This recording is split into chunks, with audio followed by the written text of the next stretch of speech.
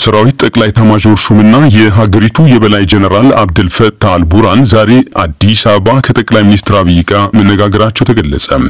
የእርስ በርስ ጦርነት የሚያወድማት ሱዳንና በተለይ በአማራና በኦሮሚያ አካባቢዎች የሚደረጉ ውጊያዎች በርካታ ሕዝብ የተጎዳባት የኢትዮጵያ መሪዎች የተነጋገሩት ዝርዝር ጉዳይ በይፋ አልተነገረም። ጠቅላይ ሚኒስትሩም ጀነራሉን ተቀብለው ወቅታዊ ቁልፍ ጉዳዮች ባሉት ዙሪያ መነጋገራቸውን ከመግለጻቸው ውጪ በምን ጉዳዮች እንደተወያዩ አልገለጹም። አልቡራን ከትናንት በስቲያ ኬንያ ናይሮቢ ውስጥ ከኬንያ ፕሬዝዳንት ዊሊያም ሩቶ ጋር የሳውዲ መሩ የጂዳ ተኩስ አቁም ስምምነት ስለሚቀላጠፍበት ጉዳይ መወያየታቸው ተዘግቧል።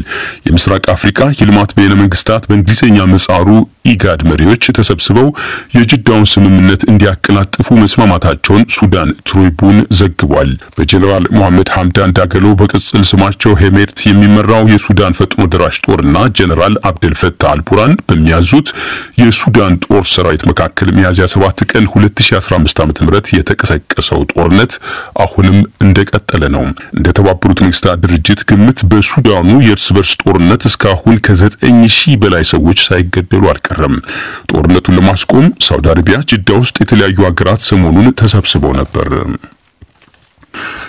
ትናንት ማምሻውን መቀለ ከተማ ታስሮ የነበረ የተባለው የቀድሞ የቢቢሲ ጋዜጠኛ ደስታ ገብረ መድህን ዛሬ መለቀቁ ተገለጸ።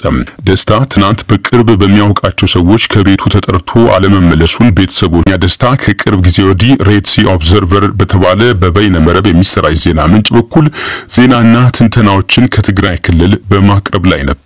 ጋዜጠኛው መቀለ ከተማ በሚገኘው በተለምዶ ባዶ ሽዱሽተ ተብሎ በሚታወቀው እስር ቤት ታስሮ እንደነበረም ቤተሰቦቹ ዛሬ ጠዋት ተናግሯል።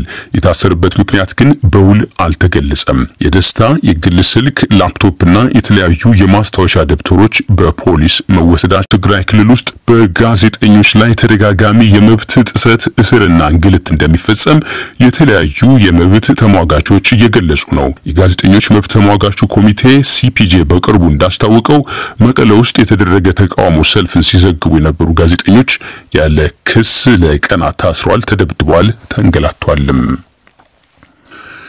በማሊ መፈንቅለ መንግስት ከሶስት ዓመታት በፊት ስልጣኑን የተቆጣጠረው ወታደራዊ ሁንታ የአማጽያን ጠንካራ ይዞታ የነበረችውን ኪዳል ከተማ ተቆጣጠረ። ሮይተርስ የዜና ምንጭ በማሊ በስተሰሜን የምትገኘው ስልታዊቷ የኪዳል ከተማ ላይ የቱዋሬግ አማጽያን ብርቱ ጉዳት እንደደረሰባቸው ዛሬ ዘግቧል። ሆኖም በቦታው ተገኝቶ ሁኔታውን ማጣራት እንዳልቻለም የዜና ምንጩ አክሏል። የማሊ ብሔራዊ ቴሌቪዥን ጣቢያ ኪዳል በጦር ሰራዊቱ ቁጥጥር ስር መውደቋን ትናንት ዘግቧል። en raison du courage et de la détermination de nos femmes. በጦር ሰራዊታችን ጀግንነትና ተጋድሎ ከጥቂት ቀናት በፊት ወደ ኪዳል አቅጣጫ ግስጋሴ ነበር። በታጣቂ አሸባሪ ቡድኖቹ ላይም ብርቱ ውድመት ተከስቷል። ዛሬ ጦር ሰራዊታችንና የጸጥታ ኃይላችን ኪዳልን ተቆጣጥረዋል። የማሊ ወታደራዊ ሁንታ መሪ አሲሚ ጎይታ በኤክስ የማህበራዊ መገናኛ አውታር ላይ ዘመቻችን ገና አልተጠናቀቀም ሲሉም ትናንት ጽፏል። የፈረንሳይ ዜና አገልግሎት ኤኤፍፒ በበኩሉ የኪዳል ከተማ መያዝ ለወታደራዊ ሁንታው ስኬት ልዩ ትርጉም ያለው ነው ብሏል።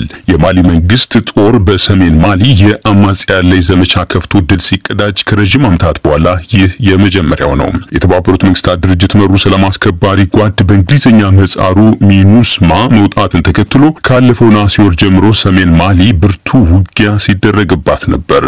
ተመድ ኪዳል የሚገኘው ጦር ሰፈሩን ለቆ እንደወጣ የቱዋሬግ አማጽያን አካባቢውን ከሁለት ሳምንታት በፊት ተቆጣ የብሪታንያ ወግ አጥባቂ መንግስት ተገን ጠያቂዎችን በአንድ የበረራ ቲኬት ወደ ሩዋንዳ ለመላክ የያዘው እቅድ ህገወጥ ነው ሲል የአገሪቱ ጠቅላይ ፍርድ ቤት ዛሬ ውድቅ አደረገ።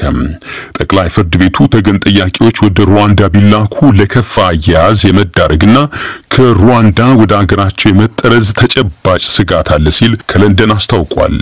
የብሪታንያ ጠቅላይ ሚኒስትር ሪሺ ሱናክ ህገወጥ ያሏቸው ስደተኞች በትንንሽ ጀልባዎች ወደ ብሪታንያ እንዳይገቡ እቅድ ያስፈልጋል ብሏል። ጠቅላይ ሚኒስትሩ የዛሬውን የጠቅላይ ፍርድ ቤት ውሳኔ ህጋዊ ነው ብሏል። ሆኖም ከሩዋንዳ ጋር አዲስ ስምምነት ለመፈራረም መንግስታቸው የጀመረው እንቅስቃሴ ምርታ ማሳየቱንም ገልጿል። አስፈላጊ ከሆነ ህግና ደንቦችን ሊቀይሩ እንደሚችሉም ጠቅላይ ሚኒስትሩ ጠቁሟል። ሆኖም ይህን በድጋሚ ልናገር፣ የሀገር ውስጥ የህግ ማዕቀፎች አሊያም ዓለም አቀፍ ደንቦች ተስፋ የሚያስቆርጡ እቅዶች ከሆኑብን ህግጋታችንን ለመቀየር እነዚያ ዓለም አቀፍ ደንቦችንም በድጋሚ ለማጤን ዝግጁ ነኝ። የብሪታንያ ህዝብ ጀልቦቹን በዚህ ማለበዚያ እንድናስቆም ከኛ አንዳች ተግባር ይጠብቃል።. ብሪታንያ ተገን ጥያቄዎችን ወደ አፍሪካዊቱ ሀገር ሩዋንዳ ለመላክ ስምምነት ያደረገችው በቀድሞ ጠቅላይ ሚኒስትሯ ቦሪስ ጆንሰን ዘመን ነው።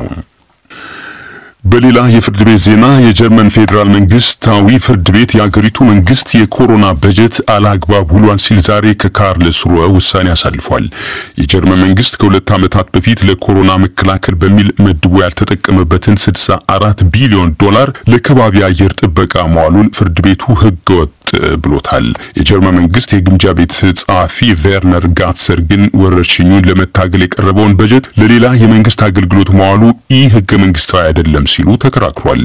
እንደውም በኮሮና ድህረ ወረርሽኝ ጊዜ የሀገሪቱ ምጣኔ ሀብት ለማነቃቃት ረድቷል ብሏል። እንደ ጎርጎሮስ አቆጣጠር በ2021 ለኮሮና ወረርሽኝ መከላከል በሚል በተጨማሪ ተመድቦ የነበረው 64 ቢሊዮን ዶላር በጀት ቆየት ብሎ አስፈላጊነት አይደለም ተብሎ ነበር። ፍርድ ቤቱ መንግስት በጀቱ ማዘዋወሩን ህገወጥ ነው በማለቱ ግን የከባቢ አየርና ለውጥ ፈንድ የተሰኘው ግዙፍ ፕሮጀክት የ64 ቢሊዮን ዶላር ክፍተት ተፈጥሮበታል። የእስራኤል ጦር ጋዛ ሰርጥ በሚገኘው ግዙፉ አልሺፋ ሐኪም ቤት ውስጥ የአሸባሪ ያለውን መሰረተ ልማት ዛሬ ማግኘቱን ይፋ አደረገ። ስለተገኘው ነገር ግን ጦር ሰራዊቱ በዝርዝር የገለጸው ነገር የለም። የዓለም ጤና ድርጅት ደብሊው ኤችኦ ኃላፊ ቴድሮስ አዳኖም በኤክስ የማህበራዊ መገናኛ አውታር ገጻቸው ላይ ጋዛ ሰርጥ ውስጥ ወደ አልሺፋ ሐኪም ቤት ጦር ሰራዊት ድንገተኛ ጥቃት አደረሰ መባሉ እጅግ አሳሳቢ ነው ሲሉ ጽፏል። እስራኤል ሐኪም ቤቱን በዩናይትድ ስቴትስ በአውሮፓ ህብረት በብሪታንያና በሌሎች መንግስታት አሸባሪ ድርጅት በሚል የተሰየሙ ሐማስ ተዋጊዎች መሬት ለመሬት መገናኛ የጦር እዝ ማዕከል አድርገው እየተጠቀሙበት ነው ብላለች።